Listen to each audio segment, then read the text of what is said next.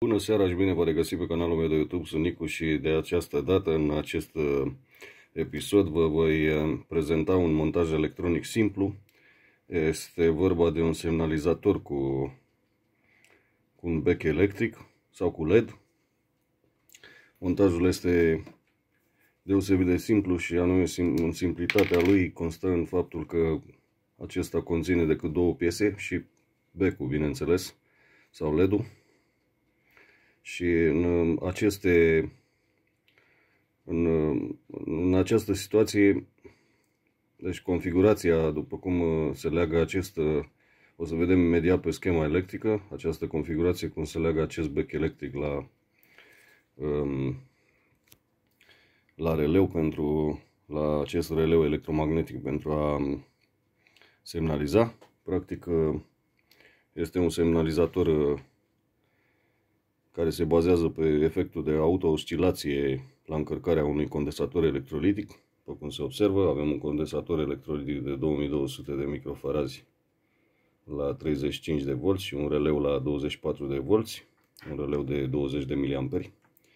Și îl alimentăm și observăm că acest uh, montaj electronic este practic un montaj electronic deosebit de simplu, care îl uh, putem face în uh, situații când nu avem nevoie de o complexitate mare sau uh, nu avem disponibile piese electronice pentru a construi un releu de semnalizare mai complex.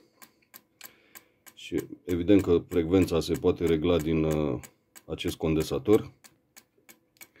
Și o să facem și un mic test să Vedem deci o mărire a condensatorului electrolitic, deci practic aici o să montez un condensator electrolitic de 1000 de microfarazi suplimentar, în paralel cu cel uh, existent de 2200 de microfarazi și LED-ul uh, sau becul va trebui să pâlpâie mai încet. După cum observăm, pâlpâie mai încet când montăm acest uh, condensator. Să-l punem mai să facă contact mai bine. După cum observăm, pe măsură ce condensatorul electrolitic își crește valoarea, sau punem unul de valoare prescrisă mai mare, acest bec electric semnalizează mai încet. Iar dacă punem, de exemplu, un condensator de valoare mai mică, îl punem decât pe acesta, de exemplu, de 1000 de microfarazi, sau punem unul mai mic de 470 de microfarazi, o să ne uităm aici pe valoarea condensatorului, 1000 de microfarezi. Dacă punem unul mai mic, evident frecvența de pulpuire o să fie mai, mai mare. Deci frecvența de pulpuire este invers proporțională cu capacitatea condensatorului pe care îl utilizăm. Și hai să vedem și pe schema electrică, să zicem, scriem aici releu semnalizator sau scriem semnalizator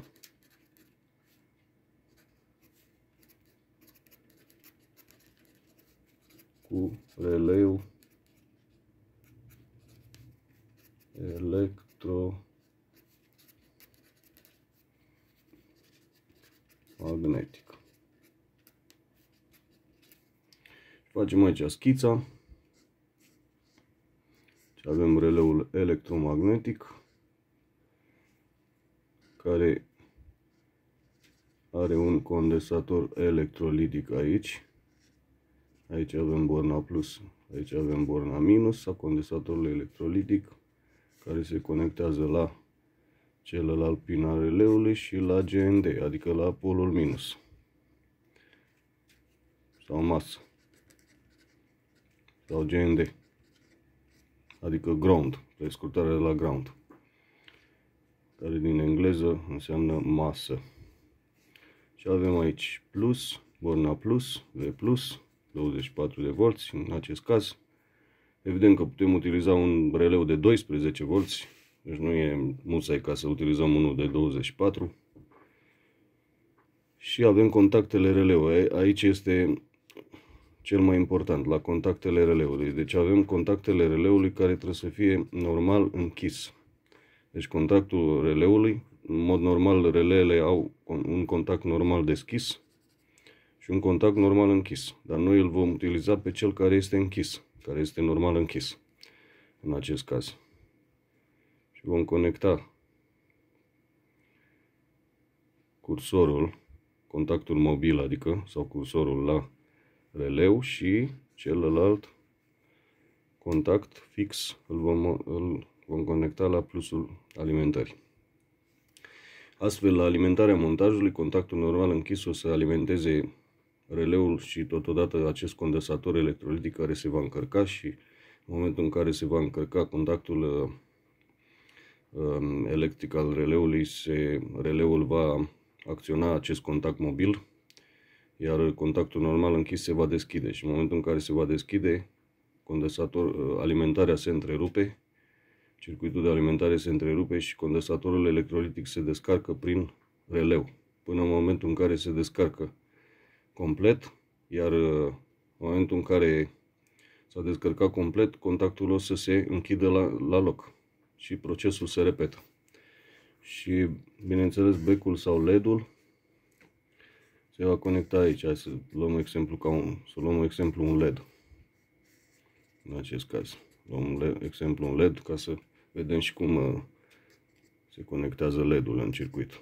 Cu anodul la plus și catodul la minusul surse de alimentare. Și astfel, după cum spuneam, acest montaj electronic uh, este simplu, are trei piese componente, releul electromagnetic, condensatorul electrolitic de 1000 de microfarazi sau 2200 de microfarazi. Și o mărire, după cum spuneam, o mărire a, a capacității condensatorului Uh, face o pâlpâire mai lentă, iar o micșorare a capacității electrolitice va face o pâlpâire mai rapidă. Și bineînțeles și rezistența bobinei releului, pentru că are un rol și important și rezistența internă a releului. De exemplu, dacă are o rezistență de 1000 de ohmi, cum are acest uh, releu, sau mai mult, 1500 de ohmi, în jurul valorii de 1500 până la 2500 de ohmi are, 2,5 kΩ, adică în acest caz se pune condensatorul uh, de 2200 sau 1000 de microfarazi. În cazul în care avem un releu cu o bobină care are o rezistență internă mai mică, atunci punem un condensator de valoare mai mare sau dacă avem un releu electromagnetic cu o rezistență internă mai mare, condensatorul va fi, bineînțeles, unul de valoare mai mică.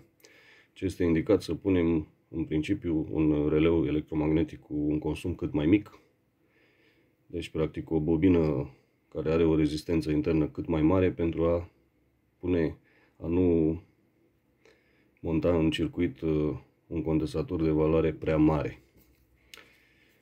Și acest montaj electronic poate fi utilizat începând de la circuite de semnalizare până la simple chiar și la amplificatoare audio sau surse de alimentare sau indicarea unei, unei avarii sau orice situație în care vrem să semnalizăm uh, ori o avarie, ori o prezență a tensiunii de alimentare, ori o pornire a unui motor și așa mai departe. Și este, după cum spuneam, unul destul de simplu și util. Nu necesită componente electronice în uh, număr mare și evident are componente electronice care se găsesc mai peste tot, nu? Sper că v-a fost de folos acest material video, ne revedem în materialele următoare pentru a discuta lucruri cât mai interesante despre electrotehnică, electronică și nu numai. Iar acestea fiind uh, arătate, vă doresc o seară bună în continuare, weekend plăcut în continuare și spor în tot ce vreți să realizați. Numai bine!